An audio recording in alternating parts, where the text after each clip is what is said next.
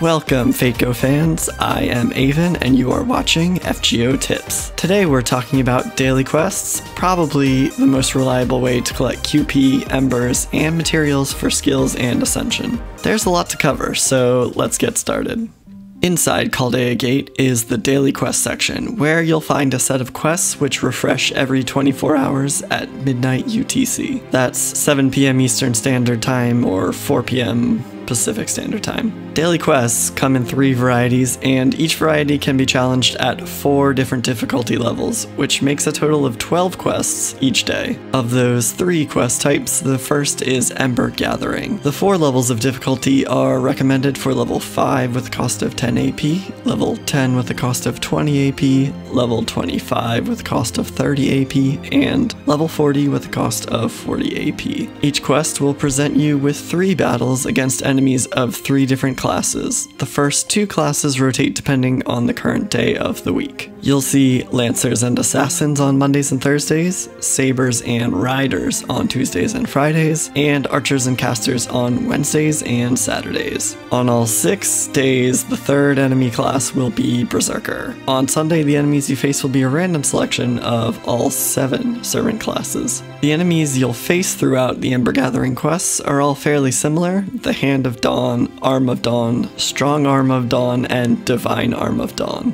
Each enemy variant attacks once per turn and has to charge up before they unleash a slightly stronger Hellfire attack. After they are defeated, they will drop either the 1 star Ember of Wisdom, 2 star Light of Wisdom, 3 star Fire of Wisdom, or 4 star Blaze of Wisdom cards. The stronger enemy variants, such as the Divine Arm of Dawn, are much more likely to drop the higher tier experience cards. We already talked about these cards in our Enhancing Servants video, but basically they are used to level up any servant, and they'll grant an even bigger boost when matched with servants of the same class. That's what makes these quests the best way to increase your servant's current level. Six days out of the week, you know exactly what class of enemies you'll be facing, which allows you to build a party full of optimal counters. This, combined with a powerful support servant, should allow you to tackle quests even higher than your current level. Each quest you'll have to fight through three waves with three of these hand type enemies each. Within a given quest, each enemy will be approximately the same level as the others and with approximately the same attack strength and HP. So this means that servants with skills or a noble phantasm that deals moderate damage to all targets are going to help you out the most in this case. The second type of daily quest is called the Training Ground. The AP required for each difficulty level matches the costs of the Ember Gathering quests 10, 20, 30, and 40, but the recommended levels are a bit higher at 10, 25, 40, and 60. The Training Ground will pit you against three rounds of enemies which all belong to a single class. That class rotates each day, Sabers on Sundays,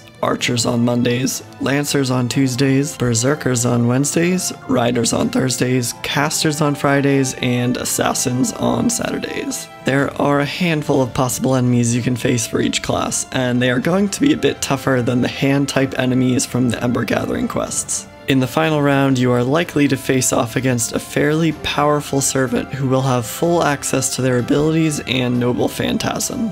If you do manage to overcome them though, these enemies will drop a variety of items. Most common among them are ascension materials specific to the class of enemy you are facing, like pieces and monuments, as well as skillet materials specific to the class, like shining gems, magic gems, and secret gems. Depending on which version of the quest you run, the level of rewards will vary. For instance, the 10 AP quest is going to be your best bet for pieces and shining gems, whereas the 40 AP quest is the quickest way to collect monuments and secret gems. Occasionally, embers drop here also, and sometimes even more rare ascension materials. On Wednesday, there's a faint chance of getting the Claw of Chaos. On Thursday, there's a tiny chance of getting a Dragon's Reverse Scale, and on Friday, there's a slim chance of getting a Heart of the Foreign God.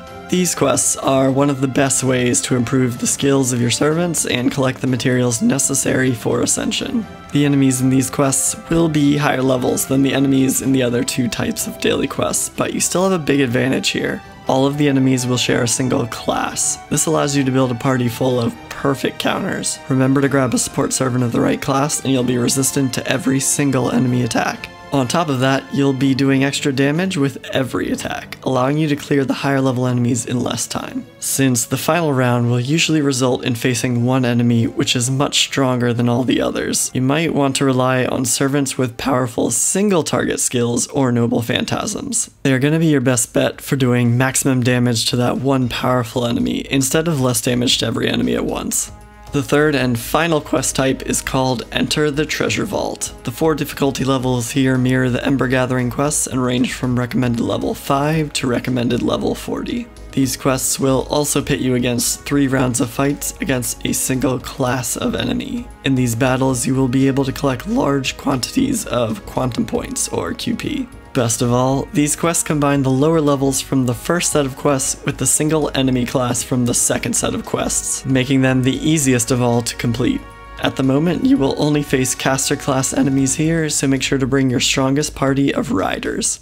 Depending on the difficulty level you select, you are likely to face a mix of Door of the Undead, Door of the Brave, Door of the Saint, and Door of the Champion enemies. They behave similar to the hand type enemies from the Ember Gathering quests, attacking once per turn, charging their gauge slowly, and eventually using a more powerful attack if you give them enough time. But based on their levels and single class, it shouldn't be too difficult for you to defeat them before they even have the chance. The first time you complete any of these quests in a given day, Ember Gathering, Training Grounds, or Enter the Vault, you will be awarded with between 1 and 4 mana prisms depending on the difficulty level you tackle. Any of the 12 quests can be repeated as often as you like throughout the day, but the mana prisms will only be awarded the first time. There's a lot to be said about these mana prisms, but this video is getting a bit long already, so look forward to a new video on that topic soon. Depending on your needs from time to time, you might find yourself gravitating towards different types of daily quests, but remember to check in with them frequently to maximize your rewards. Also be on the lookout for periodic events that reduce the AP cost for different types of daily quests by half. Those are perfect times to collect and grind. So, which daily quests have you been spending your time on? Leave a comment below and let me know. Subscribe for more tips, and as always, thanks for watching.